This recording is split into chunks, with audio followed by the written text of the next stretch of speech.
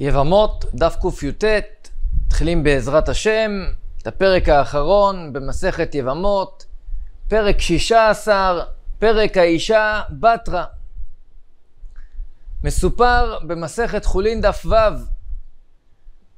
רבי מאיר בעל הנס שלח פעם את תלמידו רבי שמעון בן אלעזר, לך תקנה יין. רבי שמעון בן אלעזר הלך אל הכותים לקנות מהם יין. הכותים הם עם שמלך אשור, אחרי שהוא הגלה את עשרת השבטים מארץ ישראל, השומרון היה שומם, הלך, הביא לשם כמה אומות, ביניהם את הכותים. אותם כותים היו בהתחלה מאומות העולם, נוכרים, והם התגיירו. יש דעה שהגיירות שלהם הייתה גיירות אמת. הלך רבי שמעון בן אלעזר לקנות מהם יין. בדרך הוא פוגש את ההוא סבא. אומר לו, אל תלך. מי זה ההוא סבא? תוספות על המקום מביא. יש אומרים שזה אליהו הנביא. הוא זוכה לגילוי אליהו הנביא. הולך לקנות יין ופוגש את אליהו הנביא. אל תלך לקנות מהם. אסור לשתות את היין של הכותים. רבי שמעון בן אלעזר חוזר אל רבו רבי מאיר בעל הנס, כבוד הרב, אומרים שיש פקפוק על היין הזה של הכותים. לא קניתי. הלכו, בדקו, מצאו שמיעוטם, מיעוט מתוך הכותים, עשו לעצמם דמות יונה על גבי הר גריזים, והיו עובדים עבודה זרה לאותה דמות. אם כן, היין של עובדי עבודה זרה, יין נסך, ולכן היין שלהם נהיה אסור. אמר רבי מאיר בעל הנס, אני גוזר לאסור יין של כותים. אמרו לו, אבל זה רק מיעוט.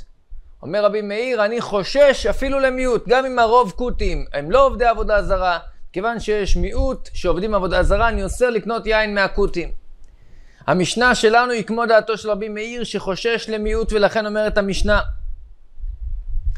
האישה שהלך בעלה וצרתה למדינת הים, אדם היה נשוי לשתי נשים, נסע לחוץ לארץ עם אחת מנשותיו והשנייה נשארה בארץ. אותו אדם הוא לא בן יחיד, יש לו אח. כשהוא יוצא לחוץ לארץ, אין לו בנים. אשתו בחזקה שאם בעלה מת, הוא מת בעצם בלי בנים, ונופלת לייבום לפני אחיו. אבל, על פי רוב, מכיוון שהוא נשוי, או הרי נשא עם אחת מנשותיו, מן הסתם שהיא תתעבר ותלד. והיא שמעה, ובאו ואמרו לה, מת בעלך. כנראה שהאישה השנייה התעברה וילדה לו בן. כנראה. רוב נשים מתעברות ויולדות. ואם ילדה לו בן, וכעת הוא מת, אז הוא מת עם בנים. אדם שמת עם בנים, נשותיו אלמנות מותרות להינשא לאחרים. בכל זאת לא תינשא. למה? הרי רוב מקרים נשים מתעברות ויולדות, אז כנראה שהאישה השנייה ילדה לו בן או בת. אז למה שהאישה שנשארה כאן בארץ תהיה אסורה להינשא לאחרים? כי המשנה שלנו היא כמו דעתו של רבי מאיר בעל הנס, שחושש למיעוט נשים שלא מתעברות ויולדות. ולכן חוששים שאותו אדם, כמו שהוא יצא מכאן, כך הוא מת, בלי בנים, ולכן אשתו זקוקה לייבום. נו, אז שתתייבם? לא, ולא תתייבם. למה? כי אולי כן נולד. אולי אשתו השנייה כן התערבה וילדה. עד שתדע באופן ודאי שהאישה השנייה שנסעה עם הבעל למדינת הים אין לה בנים ואז היא תוכל להתייבם. כל זמן שלא ידוע לנו שלצרתה אין בנים, צריך לחשוש שמא, מעובר, שמא מעוברת היא צרתה. ואם כן, זאת אינה זקוקה לייבום. מקרה נוסף, הייתה לה חמות. לא רק בעלה נסע לחוץ לארץ, לא רק האישה צרתה נסעה לחוץ לארץ, אלא גם חמותה נסעה לחוץ לארץ.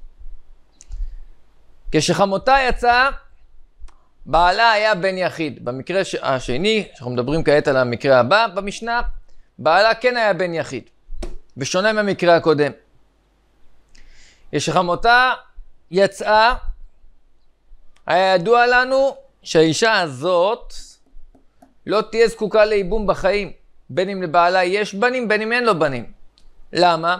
כי לב... לבעלה אין אחים, אין לה לפני מי ליפול לייבום.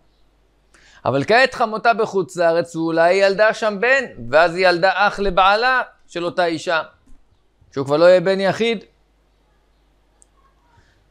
אף על פי כן, כשהיא שומעת שבעלה מת, היא לא צריכה לחשוש אולי נולד לו אח, אינה חוששת, קודם כל כי לא בטוח שחמותה ילדה, וגם אם ילדה, לא בטוח שזה בן, אולי זה בת. אם זה בת, לא שייך ייבום. אבל אם חמותה יצאה לחוץ לארץ כשהיא מלאה, כשהיא מעוברת, אז כן חוששת אותה אישה שבעלה מת, אולי נולד לו אח, אולי היא זקוקה לייבום, והיא אסורה להינשא לאחרים. רבי יהושע אומר, אינה חוששת, גם אם חמותה הייתה מעוברת, היא לא חוששת שנולד לבעלה אח, ולכן היא זקוקה לייבום לאותו אח, אלא מותרת להינשא לאחרים. כי גם כשחמותה הייתה מעוברת, אולי היא הפילה, וגם אם היא לא הפילה, אולי ילדה נקבה. למדנו ההלכה הראשונה במשנה,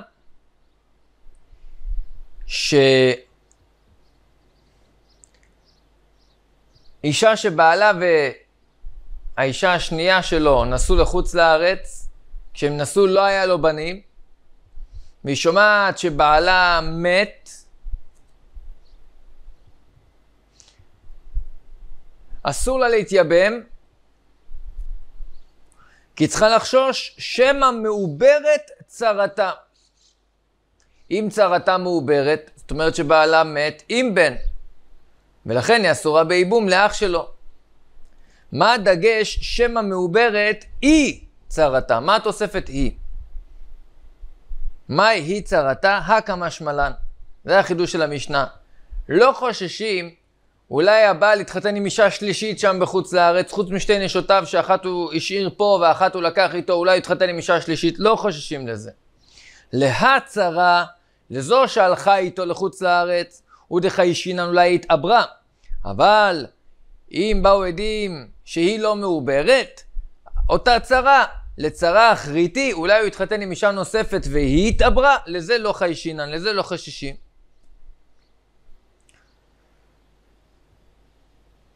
לא תינשא אותה אישה שבעלה וצרתה נסעו לחוץ לארץ ואז לא היה לו בנים, לא תינשא ולא תתייבם וכולי. שואלת הגמרא, למה לא תינשא? בשלמה יבומי לא, מובן למה שהיא לא תתייבם. דילמה צרתה מעברה, אולי היא מעוברת ואז היא פטורה מזיקת ייבום. ואם היא תתייבם, כפגעה באשת אח שלא במקום מצווה, אסור לאשת אח להתחתן עם האח, אלא אם כן מצוות ייבום, אבל כאן אולי אין מצוות ייבום. שלא תעבור על איסור דאורייתא. אלא למה לא תינשא לאחרים? עמאי, למה לא הולכים אחרי רוב? הלך אחר רוב נשים, ורוב נשים מתעברות ויולדות. מסתבר שאותה צרה התעברה, ואם כן, שזו שנשארה פה בארץ לא זקוקה לייבום, תנסה לאחרים. לימה רבי מאיר היא דחי שלמיותא, וכי אנחנו נאמר שהמשנה שלנו כמו דעתו של רבי מאיר, שאיתו פתחנו את השיעור, שחושש גם למיעוט נשים שלא מתעברות, וזה אגב המסקנה. בהתחלה הגמרא מנסה לדחות אפילו תימא רבנן שהולכים אחרי הרוב. כי אז לרבנן בתר רובה, מתי חכמים אומרים שהולכים אחרי הרוב? ברובה דאיתא קמן. רוב שאנחנו, שנמצא לפנינו. שתי דוגמאות. דוגמה ראשונה, כגון עשר חנויות, עשר. תשע מהן מוכרות בשר, בשר כשר, והעשירית מוכרת בשר טרפה, נבלה וטרפה. מצאנו חתיכת בשר מחוץ לאותן החנויות. אנחנו מסתפקים מאיזה חנות קנו את הבשר הזה. הולכים אחר הרוב. כי זה רוב שנמצא לפנינו.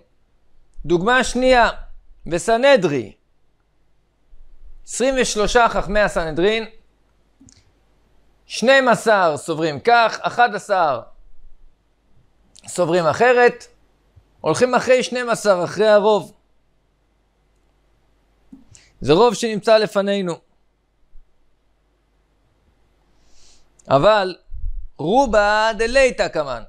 כשאנחנו באים להכריע על פי הרוב שהוא לא נמצא לפנינו.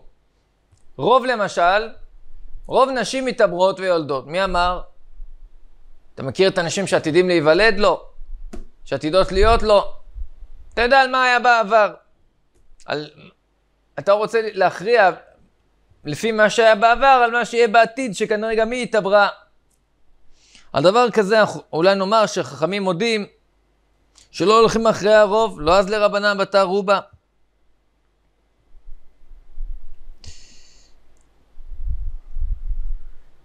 דוחה הגמרא, וכי חכמים לא הולכים אחרי הרוב במקרה שהוא לא לפנינו? והרי יבם קטן ויבמה קטנה. דרובה דליתא כמן היא. החשש של רוב הוא לא לפנינו. מה הרוב? רוב קטנים ראויים להוליד, רוב קטנות ראויות להוליד. אבל זה רוב שהוא לא לפנינו, כי אתה מדבר על העתיד, אתה לא יודע מה יהיה בעתיד, אתה יודע מה היה בעבר. ובכל זאת, אז לרבנן בתר רובה, חכמים הולכים כאן אחרי הרוב למרות שזה לא לפנינו. דתניא ברייתא, אישה שבעלה מת בלי ילדים ונופלת לייבום לפני יבם קטן. או יבמה קטנה שנפלה לייבום. לא חולצים ולא מייבמים דברי רבי מאיר. מה הסיבה? אז חכמים אמרו לו לרבי מאיר, יפה אמרת שאין חולצין. קטן וקטנה. כי בפרשה של חליצה, איש כתיב בפרשה. ואם לא יחפוץ האיש, איש ולא קטן. ומה עם קטנה? מקשינן, יש היקש אישה לאיש, כי בהמשך כתוב, ועלתה יבימתו השערה. גם קטנה לא שייכת בחליצה, מובן למה קטן וקטנה לא חולצים. אלא מה הטעם אין מייבמין? למה לפי רבי מאיר קטן וקטנה לא יכולים לייבם? אמר להם רבי מאיר, חוששים למיעוט. חוששים על קטן שלא לא ייבם, שמא יימצא סריס שלא ראוי להוליד. והוא לא שייך בלהקים לאחיו שם. הוא לא שייך בייבום. וכן בקטנה, שמא תימצא העילונית, שלא ראויה להוליד. ונמצאו פוגעים בערווה. אם הם פטורים מייבום, הם אסורים להינשא עם אשת אח, זה שלא במקום מצווה. מיעוט. כמה קט... קטנים וקטנות שיגדלו לא יהיו ראויים להוליד, רוב האנשים ראויים. בכל זאת רבי מאיר חושש. וזה מיעוט שאינו לפנינו, אנחנו לא יודעים מה יהיה בעתיד, אנחנו יודעים מה היה בעבר. ובכל זאת רבנן סברי, קטן מייבם. רגע, אולי הוא יימצא שלא ראוי להוליד? זיל בתר רובה דקטנים, לך אחרי רוב. שהקטנים כשהם גדלים הם ראויים להוליד. רוב קטנים לאו סריסי דינו, הם לא שאינם ראויים להוליד רוב הקטנים. גם לעניין יבמה קטנה, יכולה להתייבם. אולי לא תימצא שהיא לא יכולה להוליד. זיל בתר רוב קטנות, לך אחרי רוב. רוב קטנות לאו העילונית ננהו. רוב הקטנות ראויות להוליד, הן לא כאלה שאינן יכולות להוליד. וכאן חכמים הולכים אחרי הרוב, ברוב שאינו לפנינו. אין לך כאן את כל אותם קטנים כשיגדלו, קטנות שיגדלו, הם עדיין לא גדלו. ואת הולך אחרי הרוב על פי דבר שהוא אינו לפנינו. רואים שחכמים סוברים שהולכים אחרי הרוב גם בדבר שאינו לפנינו, אלא מחברת ברור ומחובר מתנית, הנה המשנה שלנו כמו דעתו של רבי מאיר היא שהולכים אחרי המיעוט, ולכן הוא אומר לא תינשא. בעלה וצרתה נסעו לחוץ לארץ, הוא היה בלי בנים, אולי התעברה, אבל אולי לא התעברה. ואם לא התעברה, בעלה מת בלי בנים, איך תינשא? זקוקה לייבום.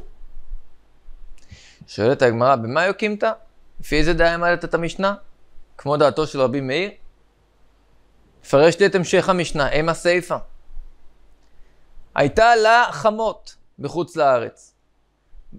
מקר... המקרה השני, כמו שאמרנו, מדובר שבעלה הוא בן יחיד לחמותה.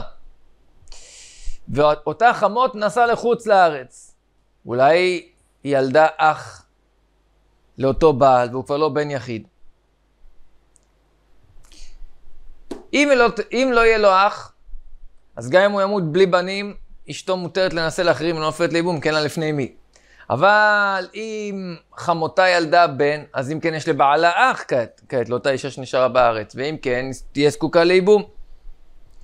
בכל זאת, אם היא שמעה שמת בעלה, אינה חוששת שמא חמותה ילדה בן נוסף, וכעת בעלה הוא לא בן יחיד, ואז היא זקוקה לייבום לאחיו.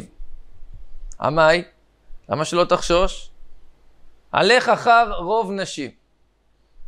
ורוב נשים מתעברות ויולדות.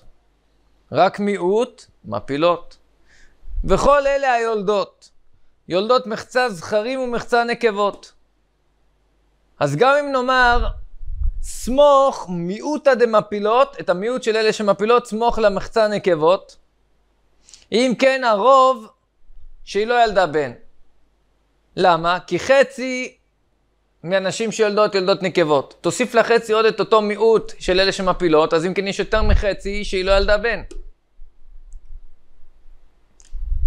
והוו להו זכרים מיעוטא, והזכרים הם המיעוט. ואם כמו דעתו של רבי מאיר שחושש למיעוט, ליחוש שמא ילדה חמותה בן זכר, ואם כן, כן תזקיק אותה לייבום. למה היא לא זקוקה לייבום? מתרצת הגמרא דילמא, אולי לגבי חמותה שהייתה בחוץ לארץ, כיוון בשעה שחמותה יצאה לחוץ לארץ, היא הייתה מוחזקת שיש לה בן יחיד. ואם בעלה, אם הבן יחיד הזה שנשוי לאישה ימות בלי בנים, אשתו לא זקוקה לייבום. אלא מה, היא חזקה לשוק, היא מוחזקת שהיא מותרת להינשא לשוק, לאחרים, כי אין לבעלה אח. ובמקרה כזה שיש חזקה שכשחמותה יצאה לחוץ לארץ, היה לה בן יחיד, והאישה הזאת, כלתה מוחזקת כמו אחת שלא תהיה זקוקה לייבום, לכן לא חייש רבי מאיר למיעוט. מה שאין כן לגבי המקרה הראשון שבו לבעלה יש כן אח, ואם כן, הרי היה לו אח, ובנים לא היה לו, אז כשהוא יצא, אם הוא, הוא, אשתו מוחזקת שאם הוא ימות, הוא בעצם מת בלי בנים ויש לו אח, אז אשתו מוחזקת שהיא כן זקוקה לייבום. לכן ברגע שהיא שומעת שבעלה מת, היא זקוקה לייבום, היא מוחזקת בייבום, לכן היא תהיה אסורה להינשא לאחרים. אלא מה, שאתה רוצה להתיר אותה להינשא לאחרים, כי רוב נשים יולדות, ואם כן כנראה האישה הנוספת ילדה, בזה רבי מאיר חושש למיעוט. אולי מאלה שלא יולדות, ולכן לא התיר לה להינשא לאחרים. שואלת הגמרא, אם רבי מאיר סובר שאפשר להכריע לפי חזקה, גם כשחוששים למיעוט, רישא די חזק לייבום. בהלכה הראשונה, שכעת עסקנו בה, שאדם היה נשוי לשתי נשים, לא היה לו בנים, אבל יש לו אח. נסע עם אחת מנשותיו לחוץ לארץ, והשנייה נשארה בארץ, והיא שומעת שהוא מת. הרי כשהוא יצא לחוץ לארץ, היא מוחזקת שבעלה הרי אין לו בנים ויש לו אח והיא זקוקה לייבום. ואף על פי כן אומרת המשנה, שהיא לא תתייבם. למה לא? שתתייבם. כי הרי כשבעלה יצא לחוץ לארץ, הוא הרי יצא בחזקת שאין לו בנים ויש לו אח, אז אם הוא מת, הוא יישאר בחזקה הזאת שאשתו זקוקה לייבום. אמר רב נחמן, אמר בשם רבא בר אבוה, רישא, מה אתה רוצה לומר בהלכה הראשונה במשנה? להתיר אותה לייבום? למה? כי כשבעלה יצא לחוץ לארץ, הוא היה בחזקה שאם הוא מת, אשתו זקוקה לייבום, כי הרי אין לו בנים ויש לו אח. דאיסור כרת, מה אתה רוצה, שהיא תתייבם לאח שלו? הרי אם יש, יש לו בנים, היא אסורה לאחיו בחיוב כרת, אשת אח.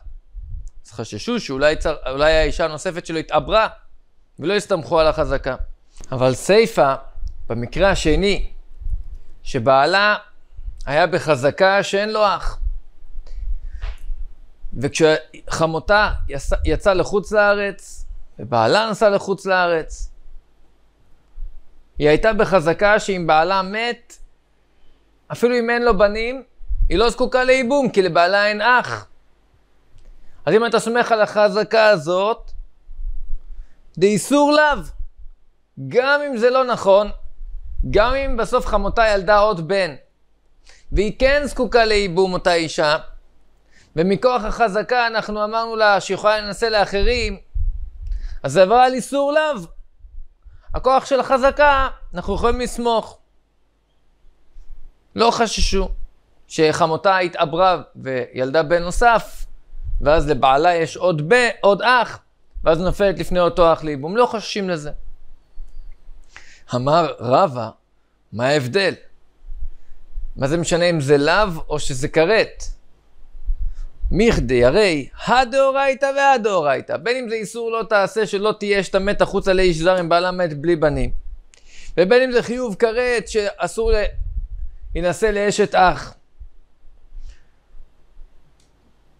בכל אופן, במקרה של ספק בדבר שאיסורו מהתורה, מחמירים.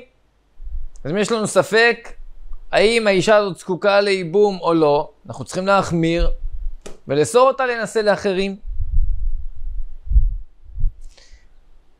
ורש"י כאן מוסיף, אמנם יש מקרים שבחיוב כרת החמירו, אבל מה החמירו? שחכמים עשו גדר להרחיק את האדם מן העבירה שלא יבוא לחיוב כרת. ולעומת זאת, לבוא לאיסור לאו, לא גדרו כדי שלא יבוא לידי איסור לאו, כמו שגדרו שלא יבוא לידי חיוב כרת, אבל במקרה שיש כאן ספק, ולכן חכמים מחמירים, אז יש כלל קבוע, בכל מקרה שהספק הוא בדבר שחיובו מהתורה, או שאיסורו מהתורה, צריך להחמיר. אלא אמר רבא, רישא, הלכה הראשונה במשנה, אדם שהיה נשוי שתי נשים, ונסע עם אחת מהן לחוץ לארץ, אם תלך לפי החזקה, כשהוא יצא, הרי לא היה לו בנים. אז אשתו, לפי החזקה, זקוקה לייבום. ואם תלך לפי הרוב, רוב נשים מתעברות ויולדות. ואם כן, כנראה בחוץ לארץ, אשתו, התאב... אשתו הנוספת התעברה, ואם כן, כשהוא מת, הוא לא מת בלי בנים, ואשתו מותרת להינשא לאח... לאחרים, לשוק. אם תלך לפי הרוב, היא מותרת לשוק. והרי הכלל הוא שהרוב הוא יותר מחזקה. חזק, וחזקה לא עדיף קירובה, אלא רוב הוא יותר מחזקה. והייתי מיעוטא דמפילות, קח את אותו מיעוט של נשים, שגם אם הן מתעברות, הן מפילות, סמוך לחזקה שכשהוא יצא מפה עם אשתו, הרי לא היה לו בנים, תצרף את החזקה עם המיעוט האלה שמתעברות ומפילות, ואבלי פלגה ופלגה, אז יש כאן ספק שקול אם היא מותרת לנשא לאחרים או שהיא זקוקה לייבום. כי אם תלך לפי החזקה והמיעוט, חזקה שכשהוא יצא מפה לא היה לו בנים, והמיעוט שגם אם התעברה אשתו היא הפילה, אז אם כן, אין לו בנים ואשתו זקוקה לייבום. ואם תלך לפי הרוב, רוב נשים מתעברות ויולדות, אז כנראה שכן אשתו הנוספת שנשאה איתו כן ילדה, בשבילו, ואם כן, הוא מת עם בנים, אז אשתו מותרת לנשא לאחרים. יש כאן ספק שקולה אם היא מותרת לנשא לאחרים או שהיא זקוקה לייבום. לכן, מצד אחד לא תינשא, כי אולי צרתה לא ילדה, ומצד שני לא תתייבם שמצרתה כן ילדה. לעומת זאת סיפה. ההלכה השנייה,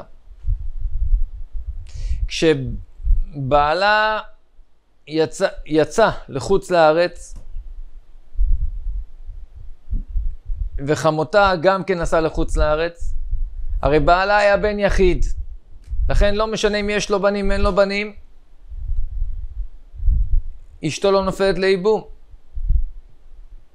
כי אין לה לפני מי ליפול לייבום. החזקה היא שהיא פטורה מן הייבום. אלא היא מותרת לינשא לאחרים לשוק.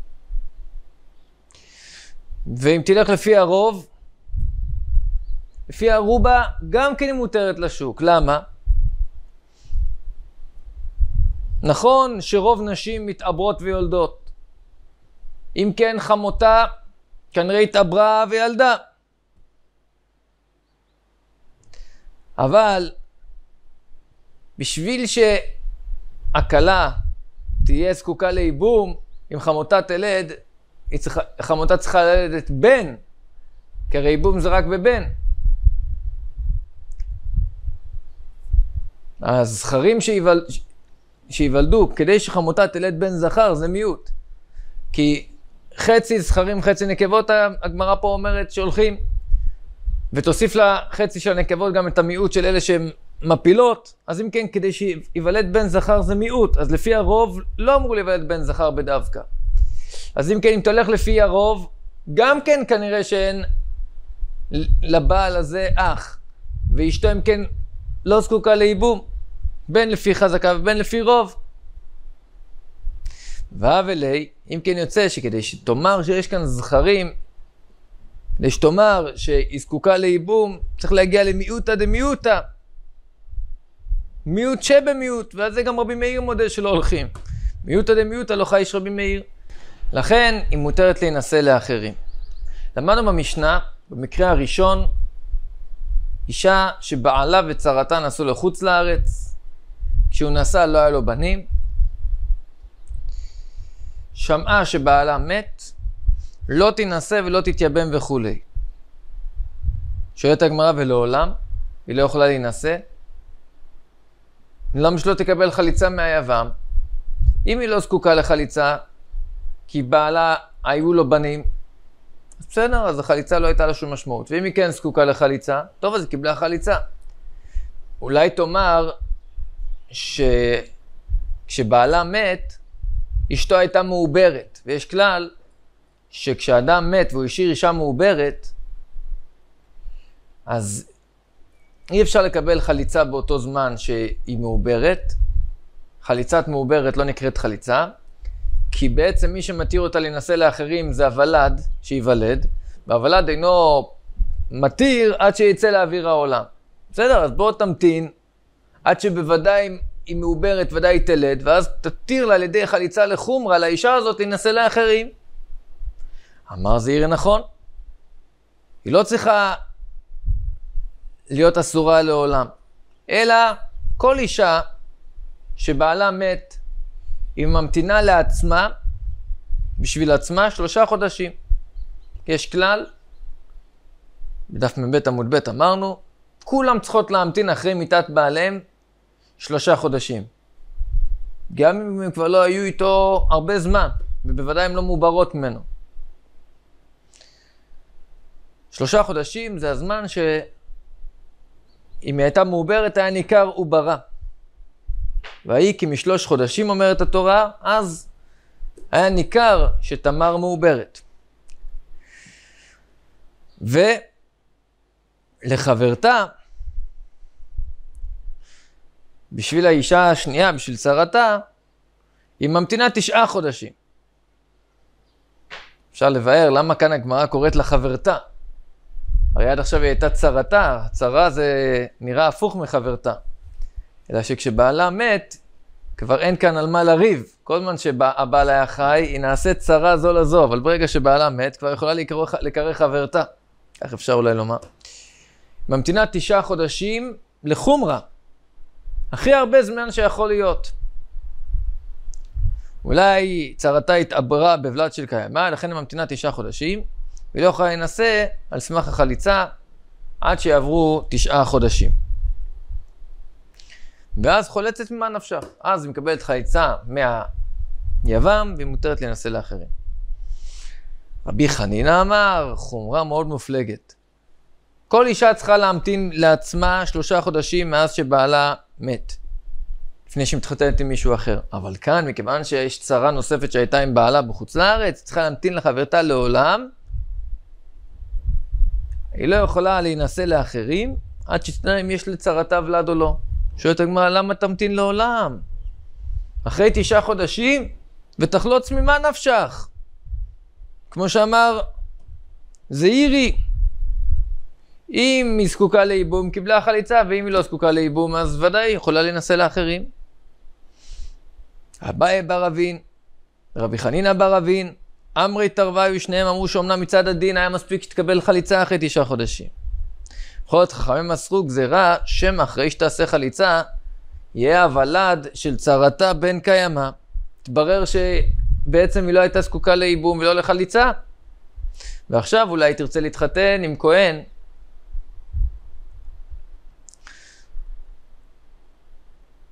ונמצא, אתה מצריכה כרוז להכריז עליה שהיא בעצם לא קיבלה חליצה, כי בעצם לא הייתה זקוקה לחליצה, ומה שעשתה חליצה לא היה לזה שום משמעות כדי שתוכל להינשא לכהונה.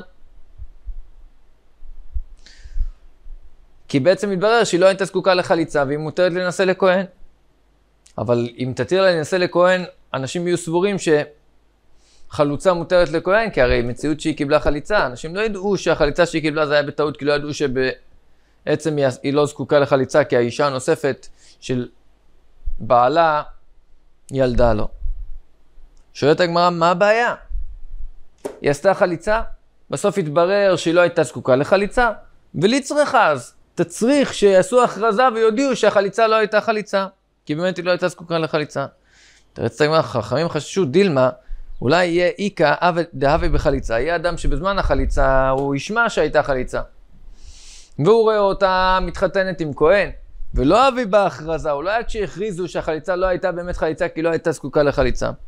וכשהוא יראה אותה מתחתנת עם כהן, אמרי, הם אמרו, קשרו חלוצה לכהן, התירו לחלוצה להינשא לכהן. יהיה סבור שמותר לחלוצה להתחתן עם כהן. לכן אמרו שהיא אסורה להינשא לאחרים לעולם. אבל לעומת זאת, זעירי אומר שזה חומרה מאוד גדולה לומר דבר כזה. שתהיה אסורה לעולם, רק בגלל חשש כזה, אולי תבוא להינשא לכהן, הכי הרבה תאסור אותה להינשא לכהן.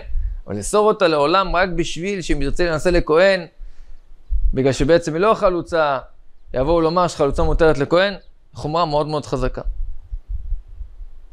שואלת הגמרא תנן, יש משנה שאומרת כך: אישה שהלכה לחוץ לארץ עם בעלה, באותו זמן לא היה להם בן. היא באה ואומרת, ניתן לי בן במדינת הים. תדעו לכם שנולד לי באמת בן מאותו בעל, אבל, ואמרה, קודם מת בני, ואחר כך מת בעלי. זאת אומרת, שהוא מת, הוא מת בלי בנים. והיא זקוקה לייבום.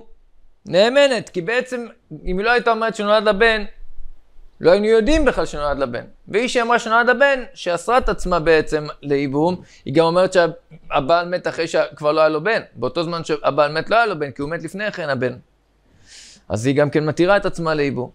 אז היא נאמנת, כי בעצם, אם היא לא הייתה מדברת על הבן, היינו מתירים, מתירים אותה לייבום. אז אם היא אמרה שנולד בן והוא מת לפני בעלה, היא נשארת באותה חזקה, מתירים אותה. אבל אם היא אומרת שקודם מת בעלי ואחר כך מת בני, ואז אם כן רוצה שלא תהיה זקוקה לייבום, זה אינה נאמנת. כי כשהיא יצאה, בעלה לא היה לו בן. היא בחזקת שאם הוא ימות, היא תהיה זקוקה לייבום. היא לא נאמנת לומר שנולד לו בן והבן הזה מת אחריו, ואז היא פטורה מן הייבום. חוששים שהיא שונאת, שונאת את היבם, ולכן היא אומרת שהיא פטורה מייבום. אנחנו אמנם לא מתירים לה להינשא לאחרים, וחוששים אבל לדבריה שמה שהיא אומרת זה נכון, שהיא לא זקוקה לייבום, לכן לא מתירים לה להתייבם, וחולצת ולא מתייבמת. נשאלת השאלה, אתה נותן לה לחלוץ?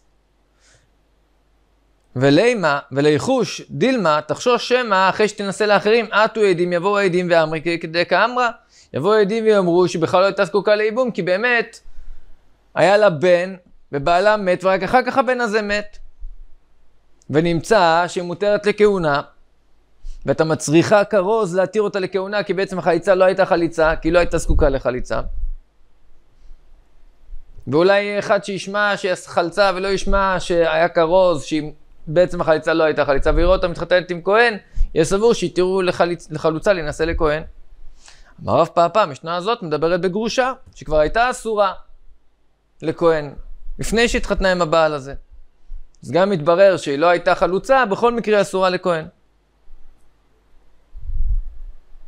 רב חייא בריידר אבונה אמר, משנה שמה מדברת במקרה כזה שהיא אמרה, אותה אישה, אני והוא, אותו בעל, נכבנו במערה, אף אחד לא ידע מהם.